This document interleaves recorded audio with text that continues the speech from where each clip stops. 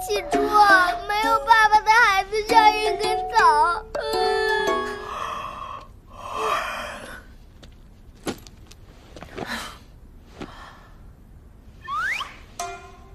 你怎么才回来？哎呦，你为什么又在那儿啊？因为从今天开始，这儿也是我的家。你说什么？我说我要住到这儿来。您再说一遍。我要住到这儿来。你要住过来是吧？你要住过来是吧？冷静，冷静，冷静！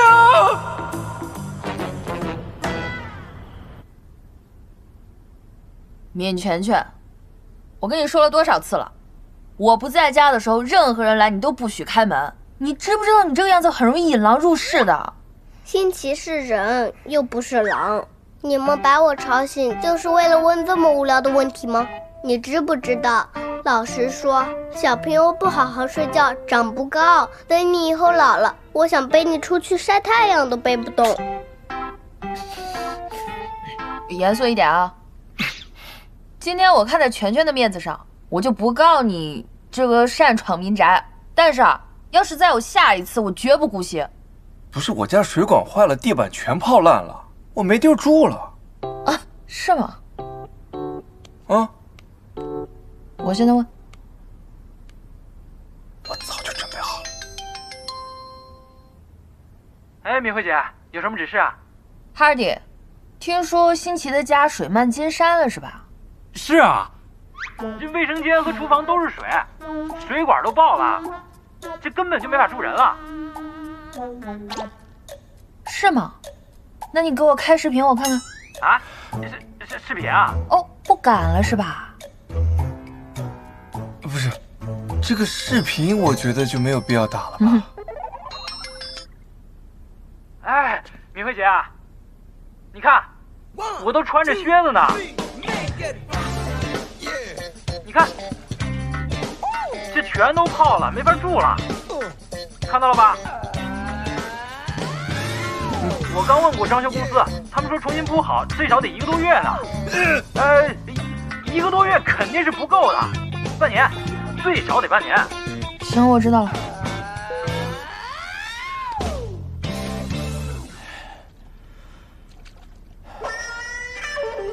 幸亏我早有准备啊！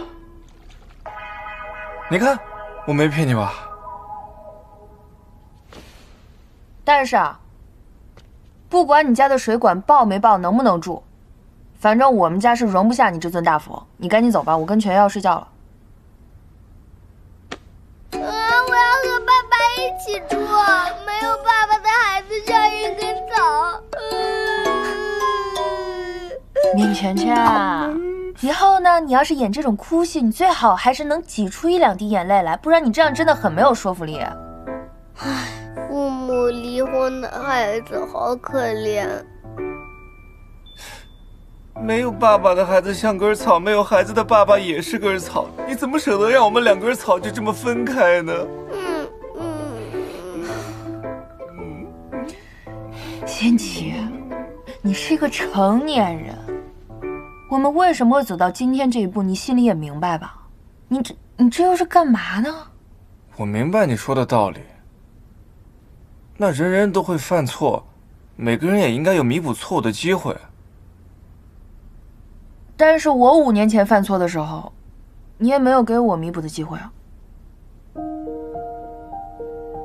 到时候你就赖着不走，米慧姐总不能真的把你赶走吧？你们就能天天见面，那有的是机会啊。我知道是是我不对，是我不好，我不是自投罗网了吗？你以后想怎么折磨我就怎么折磨我，行不行？你下定决心了不走，对吧？是。真的不走？不走。全全，你今天跟他睡啊，我走了。去哪儿啊？你不去追米慧？不能追。为什么？我怕他给我来调虎离山。什么叫调虎离山？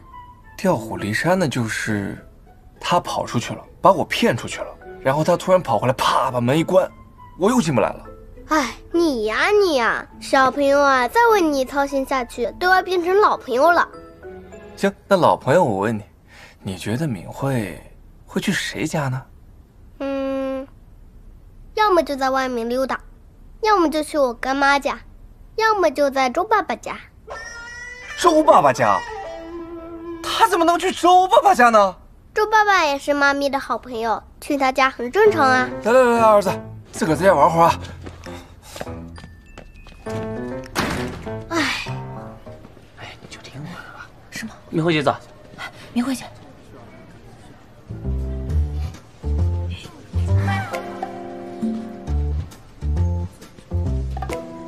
嘿，全全昨天晚上一直哭着找你呢，你去哪儿了？电话也不接。没去哪儿。哦，也是啊，你连衣服都没换。都住在一个小区，你怎么没回去换件衣服再来上班？我懒得换啊。敏慧，你好歹是个女的，这么住在别的男的家里合适吗？这跟你有什么关系啊？怎么跟我没关系？我是你孩子爸爸。你是我孩子的爸，又不是我爸。你是我爸，我也成年了，你也管不着了。成年怎么？成年有不能干的事儿吧？烦不烦啊？你赶紧出去，我上班呢。你听见没有？下次。呀，秦总，来这么早？嗯啊，视察工作？嗯嗯手机啊落我家了。我就说嘛，我找半天。昨天他住你那儿了。不然嘞，雀巢被鸠给占了，我只能收留小喜鹊喽。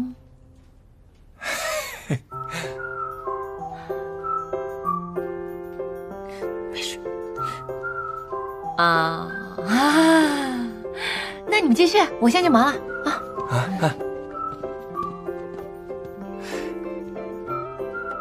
对不起啊，我误解你了。如果你这只斑鸠今天不搬出去的话，可能就不只是误会了。别啊！反正我已经跟你说了，那个家有你没有我，有我没你，你自己看着办吧。我上班了。行，我走。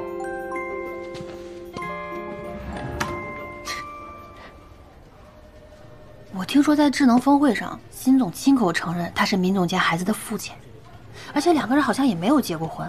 如今来往又这么频密，你说他俩到底什么关系啊？估计是两人曾经恋爱过，但辛总不肯结婚，明总监就怀孕逼婚，结果逼婚不成，只能自己把孩子给生下来。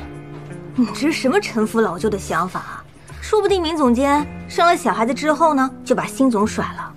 我跟你说啊，现在有很多女孩子啊，只想要小孩，不想要男人。是我正在追求你们闵总监的关系。辛总，辛总，辛总，我们我现在呢在追求你们闵总监，以后还要大家多帮忙。没问题，没问题，有什么需要没问题您尽管吩咐。啊，瑞斯派，瑞斯派，闵总监，您干活干活。